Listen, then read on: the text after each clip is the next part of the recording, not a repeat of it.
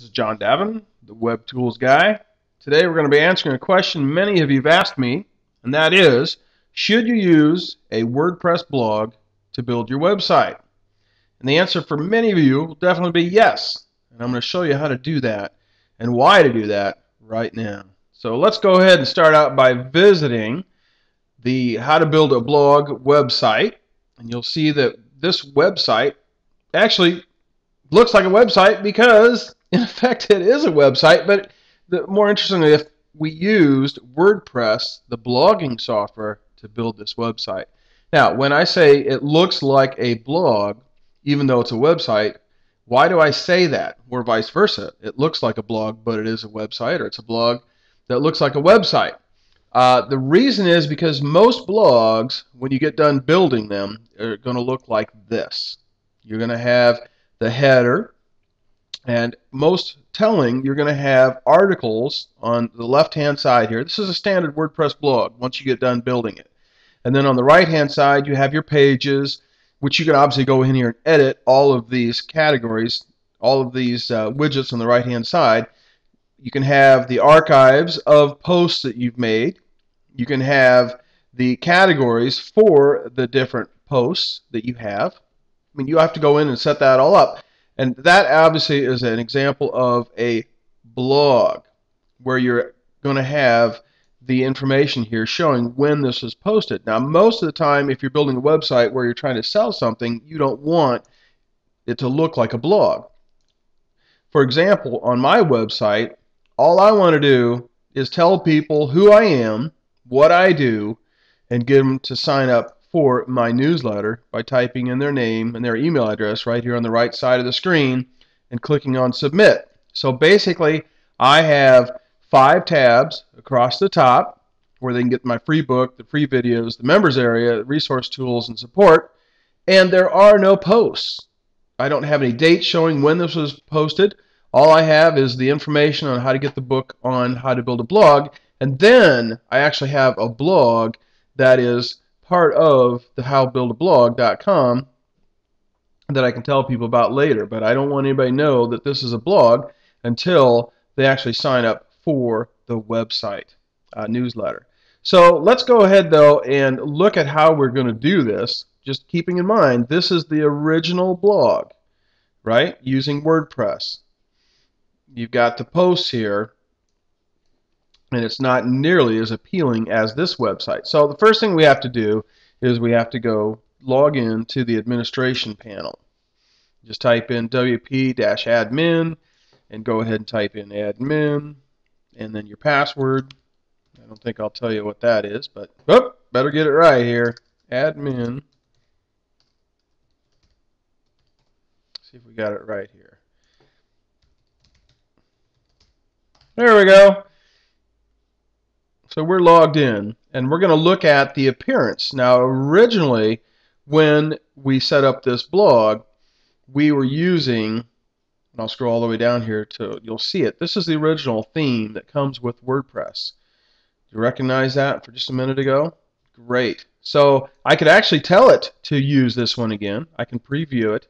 And if I want to make it active, I click under Activate the WordPress default, but I don't really want to do that. So I'm going to go ahead and press back, and we're going to go back to the appearance on the left-hand side, and we see that the current theme is Web Tools, and it's got a long name there, but that's okay. That's a theme that I created using Artisteer. And if you download my book, How to Build a Blog, you'll see uh, in that book how to use Artisteer to build a theme that looks as nice as this for your blog. Or for your website that uh, people will not realize is an actual blog. So that's the first thing that we had to do was number one, go change the theme to a different theme. Now certainly you could use this theme. You could get rid of all this information like I'm going to show you in a minute and I could set it up so that we put a different image in here and all that. That is certainly feasible. You could certainly do that. I don't want to say you shouldn't use this theme. I'm just saying that there are other themes that maybe are easier to use that are uh, a little bit more user friendly as far as as uh, actually not user friendly just that they look a little bit different like this I, I, personally like this look a little bit better for a website where I'm trying to sell something or get people to sign up for my newsletter. I'm not posting a lot of articles. It's a little bit wider, and uh, that's that. But let's go back here to then the next step is going under widgets. And if you remember widgets, they're the information that shows up on the right hand side of the screen, right in here, under the search tab. Um, and I can show you again here. Uh, this is on the right hand side where it says free. Take advantage of these helpful tips. That is where you put your widgets. And there are many different ways to, to do that. But originally, when we started out with this is the sidebar on the right hand side, we had a calendar over there. We probably had our links over there. We had our categories. And with WordPress, all you have to do is drag and drop. See, I could put the categories back in there if I wanted to. Let's go ahead and click on Save, Close, and then we'll go View that website so that you can see that I did put categories here, but we don't really want those categories there. So we uh, all we want to do is actually have the get the, book information here and the testimonial. So I'm just going to show you that this is a simple text file that I could actually create it in a text file or you could use HTML to create that file. And I actually used a HTML editor to put that information in there. Then just cut, copy, and paste it. Obviously, you have to have a title, and then you have the content here. And I'm going to go ahead and close that. But so let's review. The first thing I had to do is number one, remove the widgets that were already there. I think the calendar was there, the links was there. So let's go ahead and put them there real quick.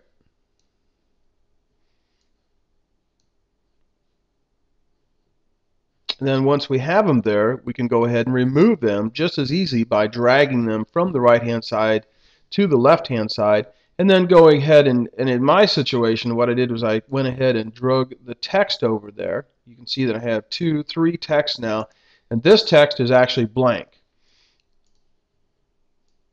And that means that I can put whatever information I want in there.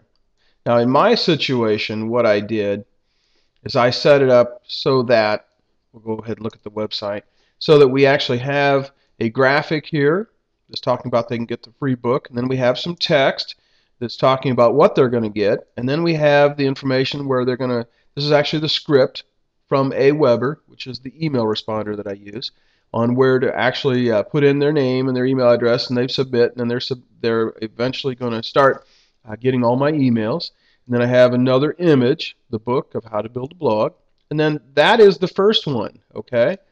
That's the first text widget that we have. And then here's the second one, which is the testimonials.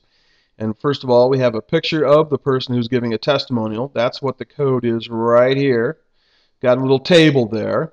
And then we're going to show the image of Jonathan Jones. And then we have text, which is his testimonial. So then I can go ahead and close that. And that's just all I had to do. Oh, and then the other last thing that I had to do was go ahead and set up a different header once I told it to upload the theme for the Artisteer program that you've already seen, then I had to go ahead and upload a different header as well. And we'll show you how to do that next video. This video has basically just showed you how and why to make a WordPress theme for your website. This is John Davin for the Web Tools Guy, and we'll see you in the next video.